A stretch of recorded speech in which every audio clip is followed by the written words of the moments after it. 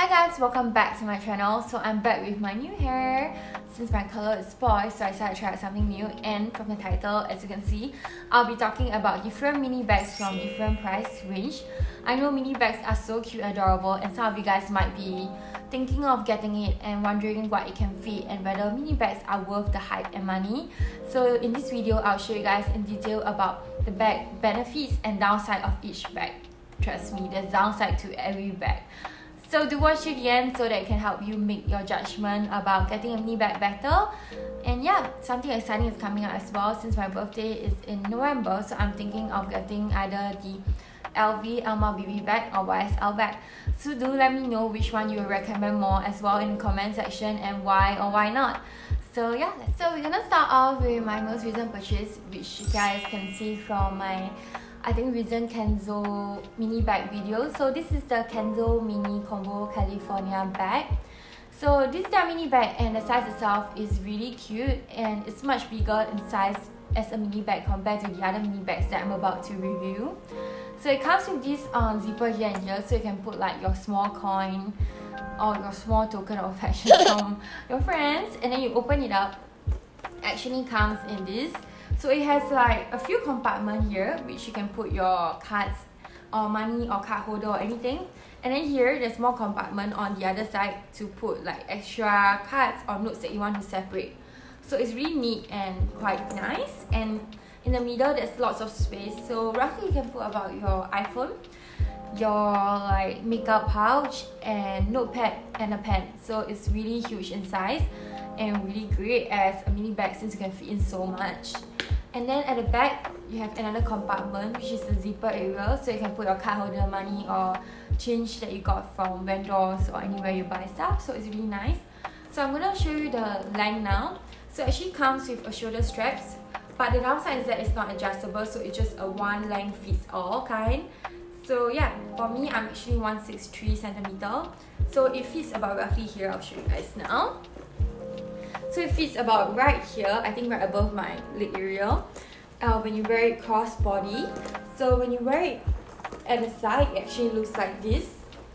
So it's actually quite long for a mini bag because personally for mini bag I would prefer it to be around here. But nevertheless it's great.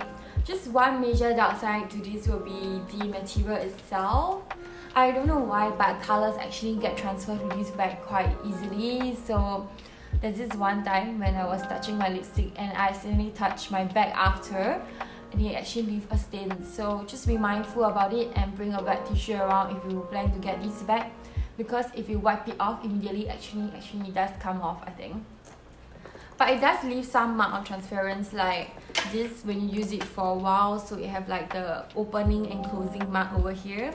And maybe here when you oops when you place item on dirty surfaces actually leave like one or two scratches over here. But overall if you are a very clean person and very mindful of where you place your bag I think this will be a great addition to your mini bag collection because the size is just right and it looks cute. So why not? I'll actually rate it for about um 8 or 8.5 over 10 the 1.5 or 2 actually comes from the downside of the scratches and stuff. But it's cute. So yeah let's move on up I'll be talking about another bag that I mentioned in my Victoria's Secret bag collection video briefly.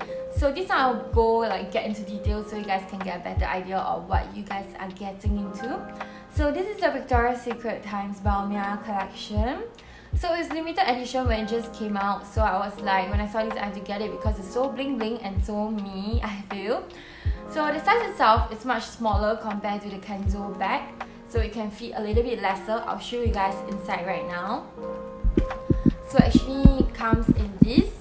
It's a bit dirty inside but it's much tighter compared to the Kenzo bag because inside you can only fit a little amount. So there's a small like card holder area.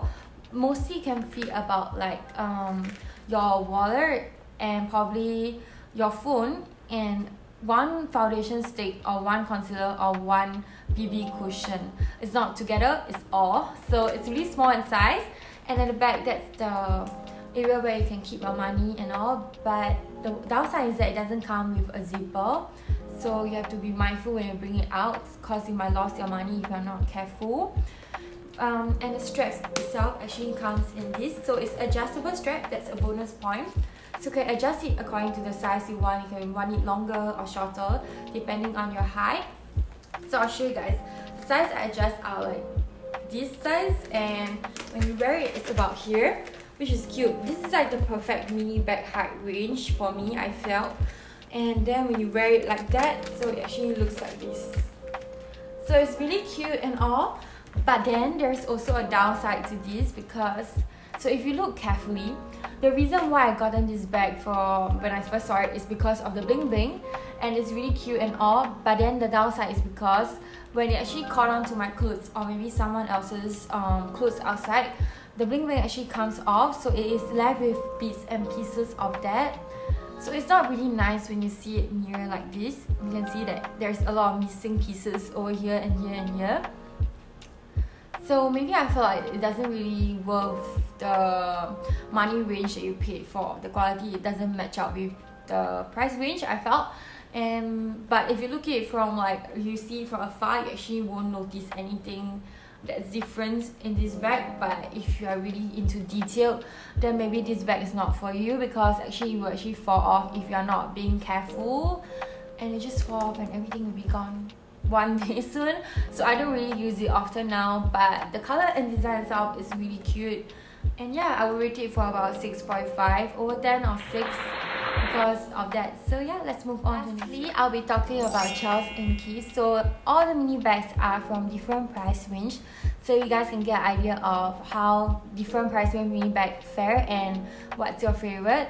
So this one is actually a gift from my friend. It's about like one or two years since i had it but i don't really use it often because it's a bit small in size but it's really cute as well. So that's how you open it up that's the part that I really like the marble part. I think it's really cute and minimalistic.